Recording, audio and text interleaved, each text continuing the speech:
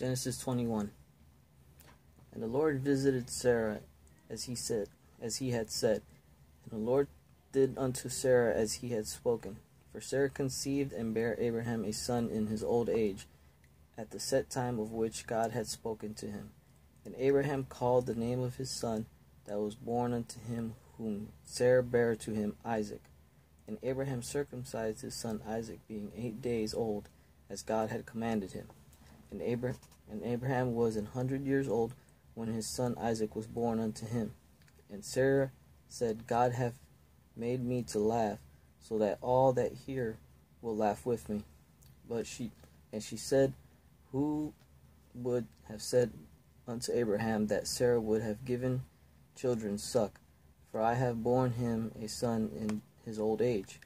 And the child grew and was weaned. And Abraham made a great feast the same day that Isaac was weaned. And Sarah saw the son of Hagar the Egyptian, which she had borne unto Abraham, mocking. Wherefore she said unto Abraham, Cast out this bondwoman and her son, for the son of this bondwoman shall not be heir with my son, even with Isaac. And the thing was very grievous in Abraham's sight because of his son. And God said unto Abraham, let it not be grievous in thy sight because of the lad, and because of thy bondwoman.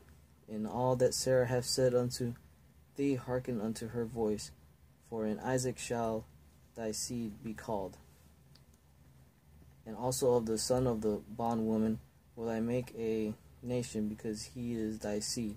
And Abraham rose up early in the morning, and took bread and a bottle of water, and gave it unto Hagar, putting it on her shoulder and the child, and sent her away. And she departed and wandered in the wilderness of Ber- Beersheba. And the water was spent in the bottle, and she cast the child under under one of the shrubs.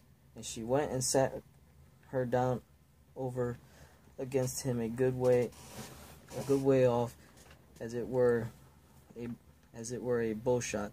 For she said, Let me not see the death of the child. She sat over against him and lift her up lift up her voice and wept. And God heard the voice of the lad, and the angel of God called to Hagar out of heaven and said unto her, What aileth thee, Hagar? Fear not, for God hath heard the voice of the lad where he is. Arise, lift up the lad, and I hold him in thine hand, for I will make him a great nation. And God opened her eyes, and she saw a well of water, and she went and filled the bottle with water and gave the lad drink. And God was with the lad, and he grew and dwelt in the wilderness and became an archer. And he dwelt in the wilderness of Paran, and his mother took him to, took him a wife out of the land of Egypt. And it came to pass at that time that Abimelech and Phicol, the chief captain of his host, spake unto Abraham, saying, God is with thee in all that thou doest. Now therefore swear unto me here by God that thou wilt not deal falsely with me, nor with my son, nor with my son's son, but according to the kindred kind according to the kindness that I have done unto thee, thou shalt do unto me and to the land wherein thou hast sojourned. And Abraham said, I will swear. And Abraham reproved Abimelech because of a well of water which Abimelech's servants had violently taken away. And Abimelech said, I wot not who hath done this thing. Neither didst thou tell me, neither yet heard of I of it, but today. And Abraham took sheep and oxen, and gave them unto Abimelech, and both of them made a covenant.